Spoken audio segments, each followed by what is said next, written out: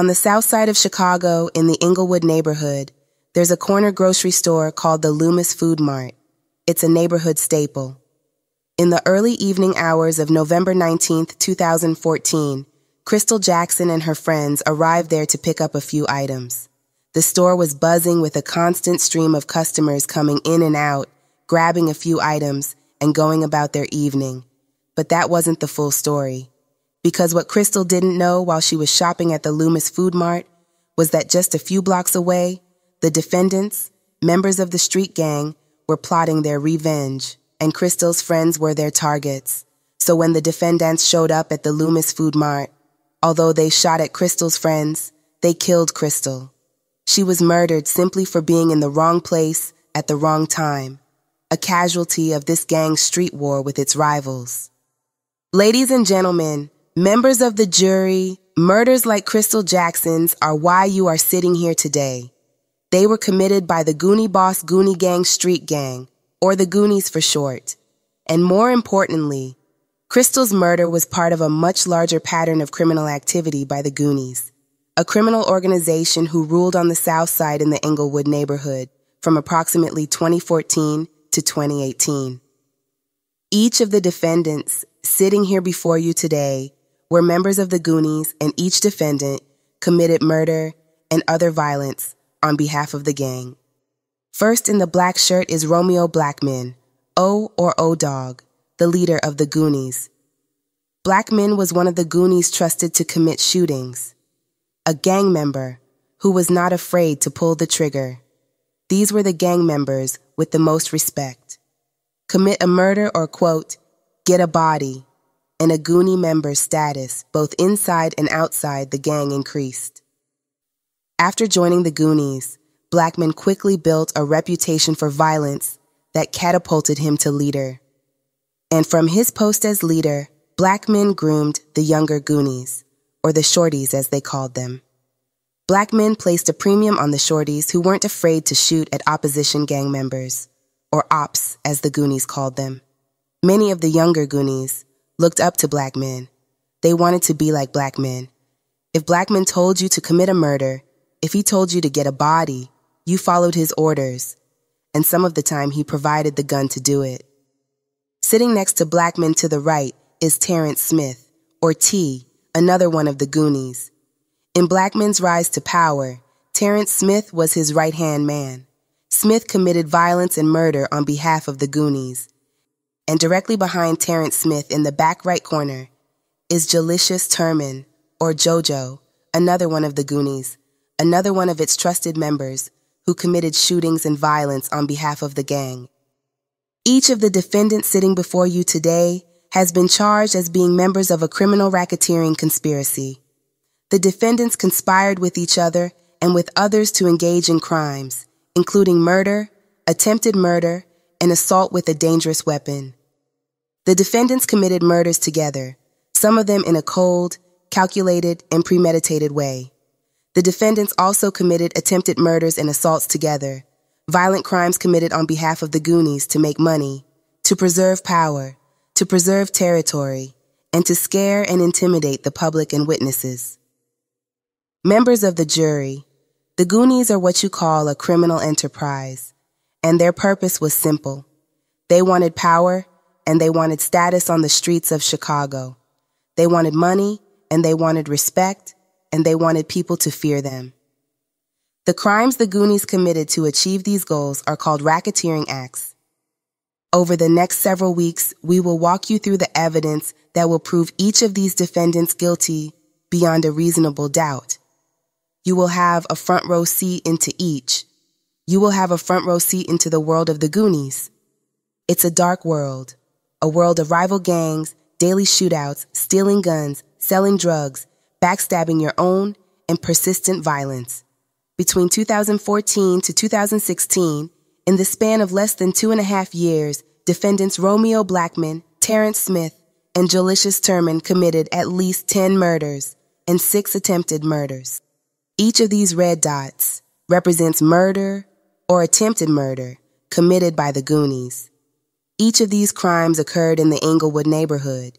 This is eight miles from where we're sitting here today. And these red dots, they represent real people. Fathers, daughters, brothers. The Goonies' conduct shattered real lives. During trial, I want you to pay close attention to how the defendants and the Goonies approach committing their acts of violence. Some of the murders and shootings were planned in advance. The target, whether it was a rival gang member or someone who they thought might talk to the police, was picked out. The crime was planned, it was calculated, and then it was executed. Some of the murders happened in broad daylight for everyone to see to send a message, and if that wasn't enough, the Goonies would then broadcast their violence on social media using Facebook to brag and to taunt.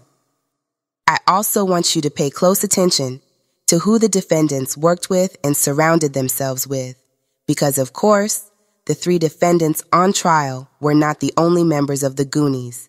You'll see that Blackman, Smith, and Turman surrounded themselves with other gang members other co-conspirators to commit the crimes that they are charged with.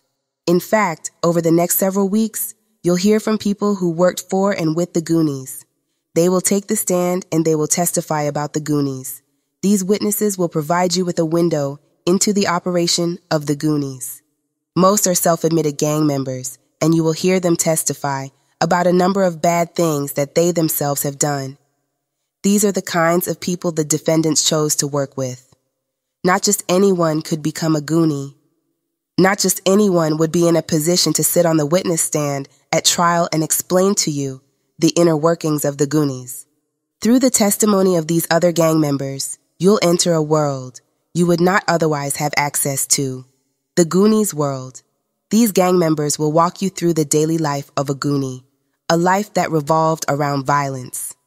Think daily shootouts, or what the Goonies called sliding, looking for rival gang members and then shooting at them sometimes multiple times a day.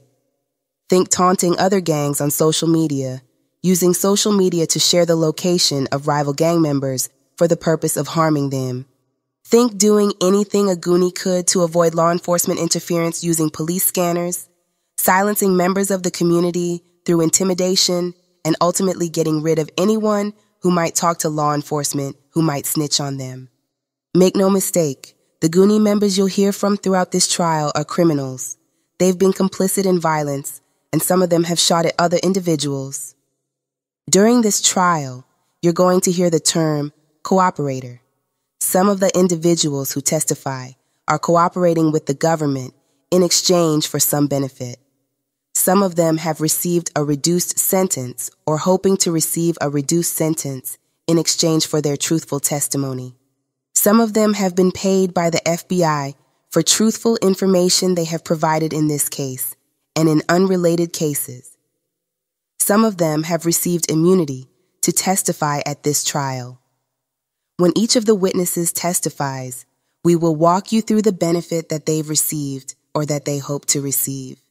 You should consider these cooperators' testimony with caution and with care. But as I will explain in a moment, you will not have to rely solely on the testimony of these gang members. We will present other evidence that will help support what they tell you, including testimony from numerous other witnesses with knowledge about the defendant's crimes. I'd like to spend some time now talking with you about how the case will be presented to you over the next few weeks and about the evidence that will prove the defendant's guilt beyond a reasonable doubt. We're going to present a lot of evidence, over the next several weeks, the evidence spans multiple years, and you're going to see and hear many names and many faces. By necessity, sometimes the evidence is going to jump around a little bit, but at the end of the trial, the government will have an opportunity to talk to you again. And when we do, my partners will be able to explain the evidence as a whole and how it all fits together. Until then, the judge has given you a notebook and it may help to take some notes. So, let's talk about the type of evidence we will present at trial. The first is eyewitness testimony. Many of the crimes committed by the defendants happened out in the open, which means that there were witnesses. You'll hear from some of the eyewitnesses at trial who will tell you the defendants committed these crimes. These eyewitnesses include Goonie gang members as well as members of the community. Next is law enforcement testimony Throughout the course of the trial, agents and officers will take the stand and walk you through the investigations that were conducted and the evidence that was collected. Specialized testimony. The government will present specialized witnesses who will help walk you through some of the evidence that was collected. For example, witnesses will help link certain shell casings that were recovered at a murder scene to firearms used by the defendants and other Goonie Gang members. Recorded calls and meetings. You'll hear several recorded calls or in-person meetings involving members of the Goonies. During these calls and meetings, you'll hear Goonie members discussing the business and affairs of the gang. Facebook evidence. You'll see many photos, group messages, and several videos of the defendants and other Goonie Gang members.